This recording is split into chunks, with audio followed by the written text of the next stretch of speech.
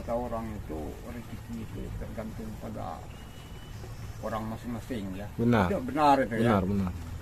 Ah, kisah kehidupan Pak Robert itu yang paling Pak Robert ingat itu seperti apa Pak Robert yang yang apa bikin sedih gitu kan. Ya, kalau kehidupan masa lalu ya gimana itu kan belum pernah berduit itu kan. Hmm. Selalu kayak gini lah. Hmm. Belum kayak orang ya. Benar, benar. Tapi setidaknya Pak Robert berusaha Pak Robert ya. Tapi usaha nih apa usaha kecil nih yo Hmm. ya kayak gitu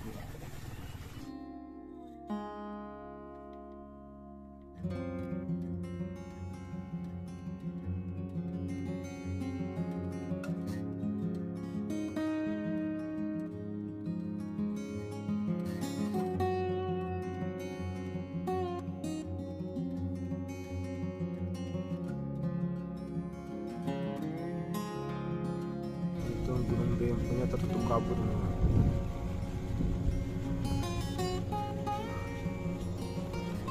Assalamualaikum warahmatullahi wabarakatuh. Teman-teman, Alhamdulillah hari ini kita berada di salah satu pondok kebun namanya Pak Robert gitu kan. Alhamdulillah di sini kita bertemu lagi dengan Bapak Robert. Dan di mana teman-teman kita di sini sedang mengantarkan amanah dari hamba Allah untuk Pak Robert gitu. Jadi mohon terima Pak Robert terima kasih. Nah ini dari hamba Allah Pak Robert Ah, ah. Ada tak kata-katanya Pak Robert untuk hamba Allah? Ya terima kasih minta panjang umur, Amin. ah, nggak ada halangan, Ah. kerja makin fit terus. Amin, amin, amin. Ini lagi istirahat nih Pak Robert. Iya baru istirahat sekarang. Oh, sudah makan Pak Robert? Sudah, sudah Oh, makan, sudah makan. Dia om sampai baru istirahat. Istirahat. Ah. Sayur apa dari Pak Robert? Aduh, kacang gitu kan. Oh ya.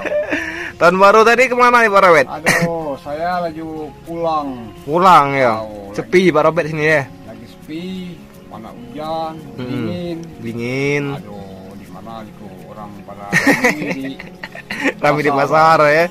ya. Tapi, Tapi hmm, pikir, pikir ya. Ah, pulang ya. Pulang dulu.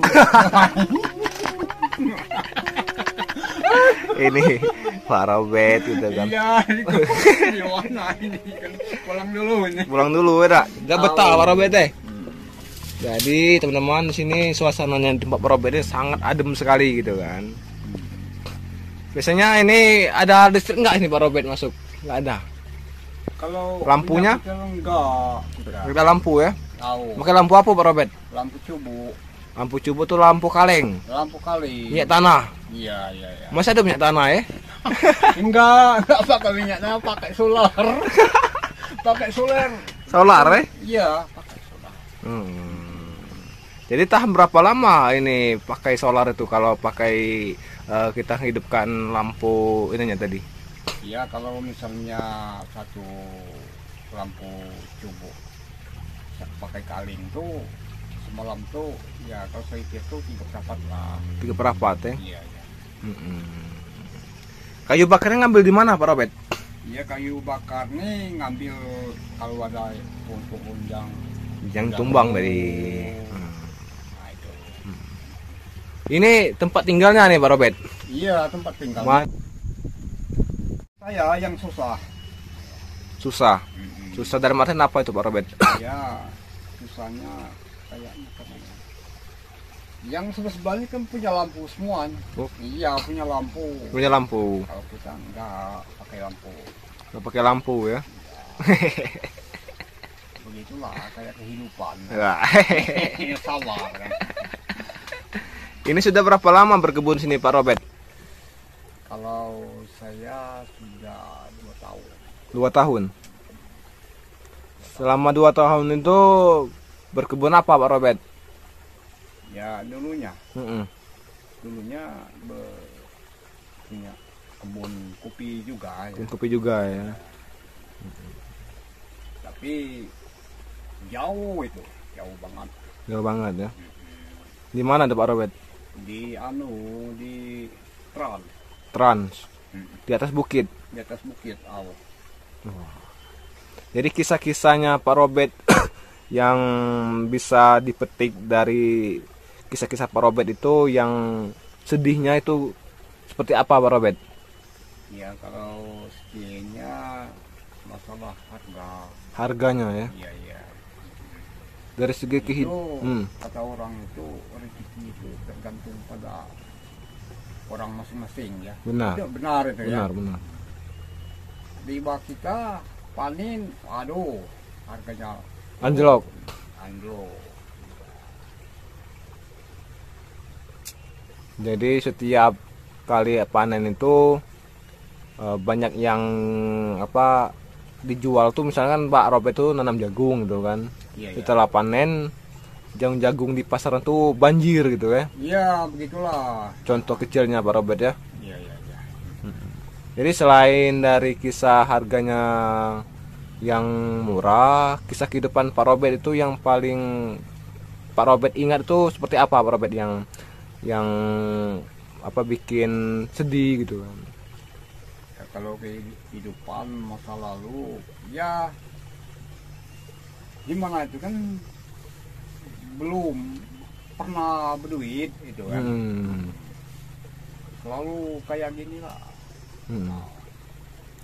belum kayak orang ya Benar. Tapi setidaknya Pak Robert berusaha Pak Robert ya.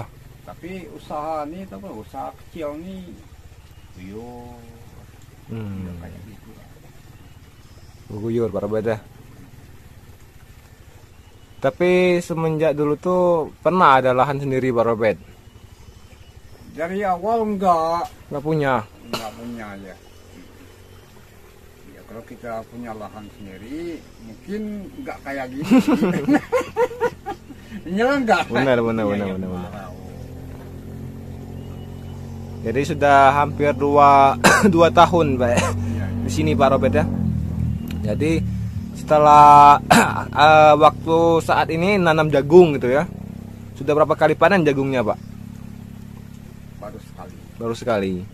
Penghasilannya berapa tuh Pak?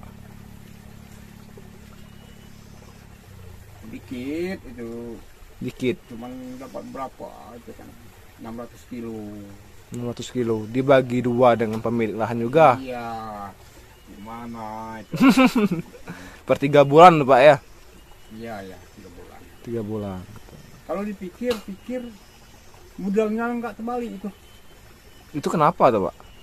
kan di, di mana ya kita dapat duit 2 juta setengah itu kadang-kadang untuk membeli bibit Hmm. pupuk racun pas bayi itu Pas baik. iya kan jadi ingat-ingat tapi nggak apa-apa tidak apa-apa kan Hmm. satu kayak gitulah Iya benar benar benar. benar. Jadi pasti ada senangnya pasti ada susahnya Pak Robert ya. Tahu. Tapi yang senangnya itu seperti apa Pak Robert yang Bapak rasakan gitu saat berkebun di lahan orang gitu. yang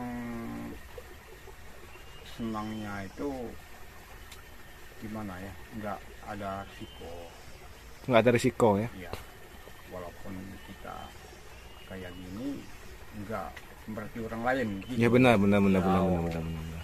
tapi walaupun kecil buyur sendiri ya Benar benar benar benar. masuk masuk akal itu Pak Robert.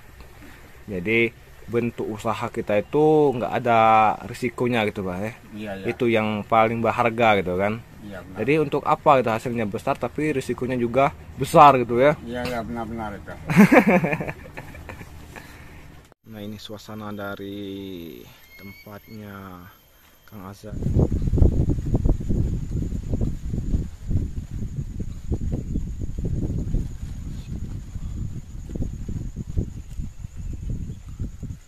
Nah, teman-teman, tadi kita di sini bertemu dengan Pak Robert. Alhamdulillah, kita sudah mendengar cerita dari Pak Robert. Jadi mudah-mudahan kita doakan Pak Robert ini senantiasa diberikan kesehatan dengan kelancaran kerjanya dan juga rezekinya gitu.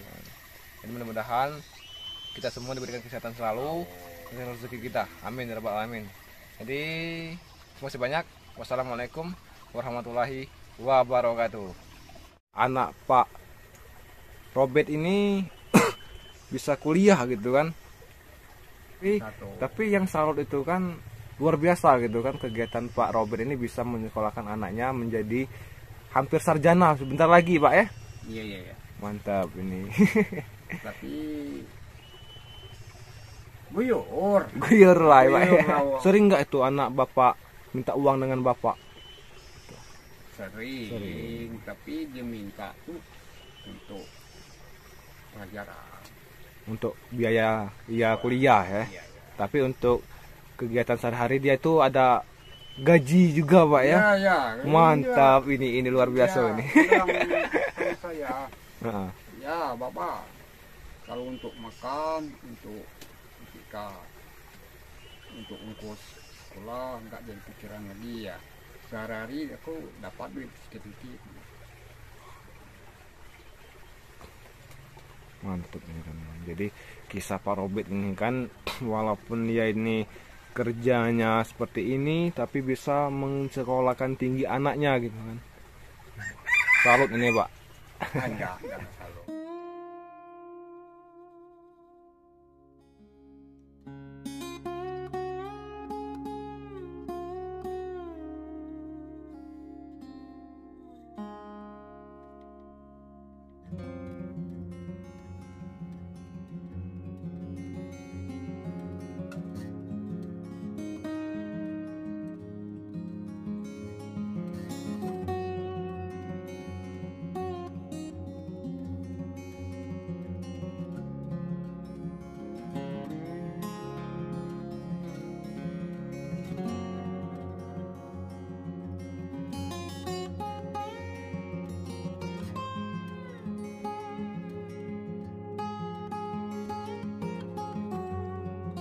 sekarang umur Pak Robert berapa Pak?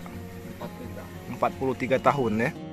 Nah jadi 43 tahun selaku masih bujangan dulu kerja apa itu Pak? Ya kalau bisa dari awal memang saya nggak susah lah. Nggak susah lah. Hmm. Susah itu Pak dalam segi apa itu Pak?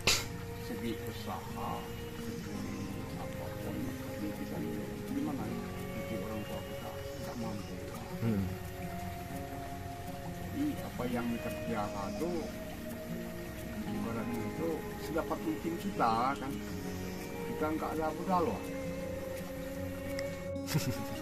Ini nggak ada modal Pak ya. iya benar Dulu pernah merantau nggak gitu Pak ke daerah lain Pak? kamu merantau nih ya udah pernah coba-coba Di mana, Pak? dulunya ada merantau di Jakarta ada Pernah gitu. Kerja apa Pak? PT. PT apa tuh Pak?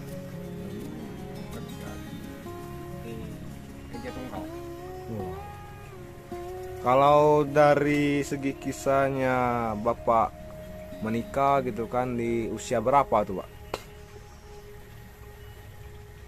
30 30 tahun.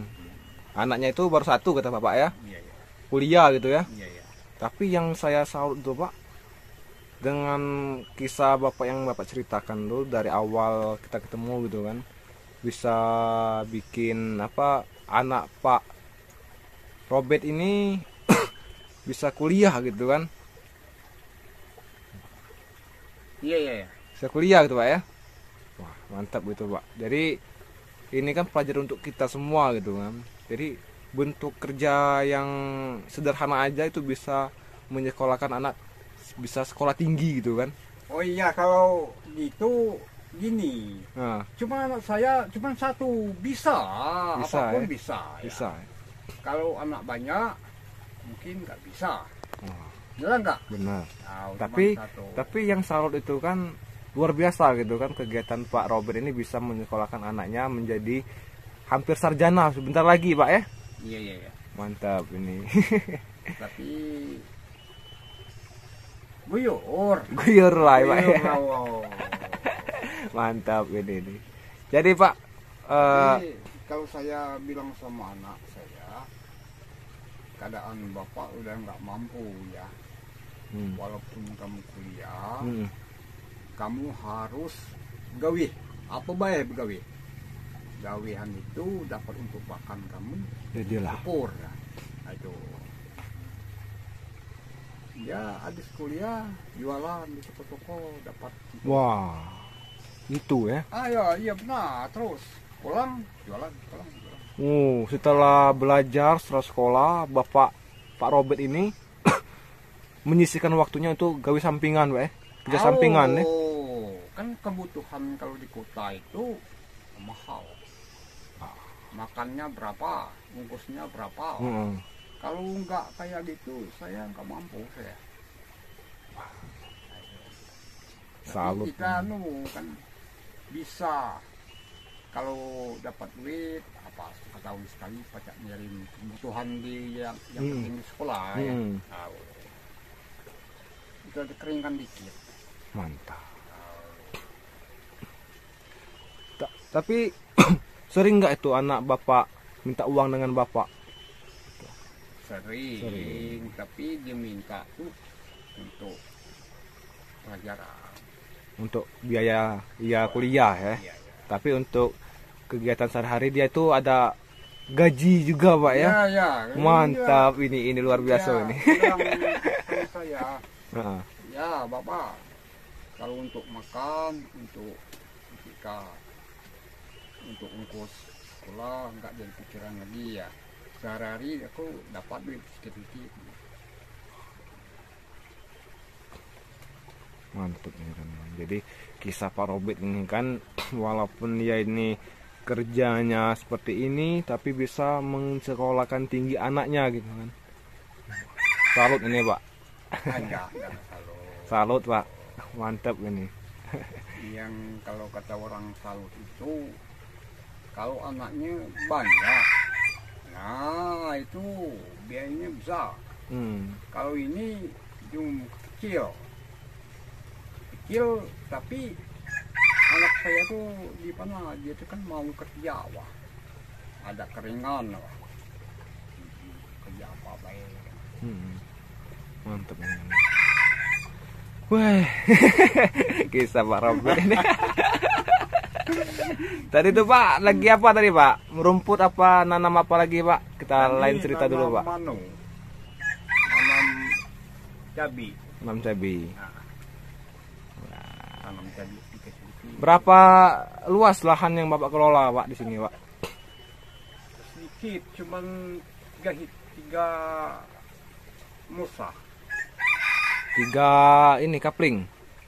Tiga musa Tiga musuh itu apa tuh Pak? itu sekitar 10 kubik Uh. 10 kubik Ini pernah sakit nggak Pak Bapak-bapak? alhamdulillah sehat Sehat terus Pak ya. Mantep Nyan. Jadi kalau capek Pak istirahat Pak. Jangan di ini kan Pak. istirahat kalau capek Mm-mm. Mantep ini. Jadi kisah Pak Robert mudah-mudahan bermanfaat bagi kita semua gitu. Jadi istrinya Pak kerja apa juga Pak? Ada juga kerja juga Pak di kampung Pak. kerjanya Nah, cuman enggak enggak. Jadi ibu rumah tangga, iya, iya, ngurus iya. rumah gitu ya.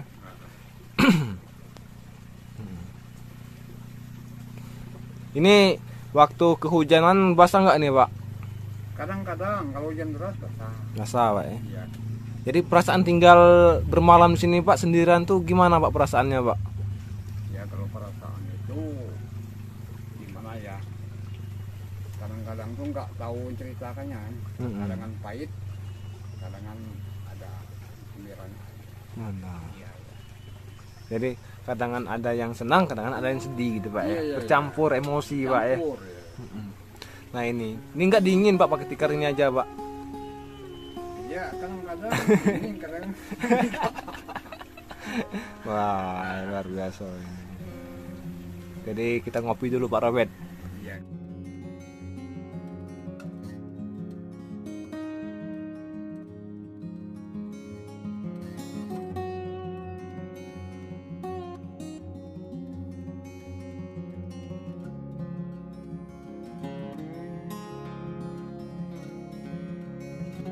Nah, teman-teman, tadi kita di sini bertemu dengan Pak Robert. Alhamdulillah kita sudah mendengar cerita dari Pak Robert. Jadi mudah-mudahan kita doakan Pak Robert ini senantiasa diberikan kesehatan dengan kelancaran kerjanya dan juga rezekinya gitu.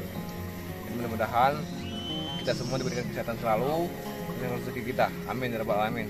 Jadi masih banyak. Wassalamualaikum warahmatullahi wabarakatuh.